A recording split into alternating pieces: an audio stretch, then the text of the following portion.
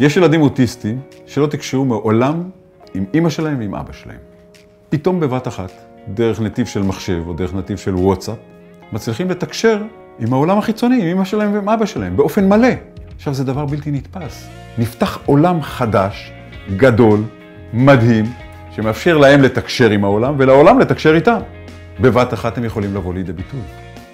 עד האייפד הוא היה בעצם סגור לחלוטין בתוך עצמו, בגלל שהבעיה העיקרית שלו זה יזימה, אז עצם זה של ההגשה של האייפד אליו ופתיחה של המקלדת, לתת לו את המקום הזה, זה לא נגיש לו.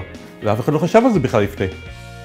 בלי האייפד אני לא היה לי תגדן היום, כאילו היה נשאר שבוי בתוך העולם שלו, ובגלל זה מאוד חשוב שעוד מורים יקבלו אייפדים ויבינו את השיטה הזאת ויצילו ילדים אחרים.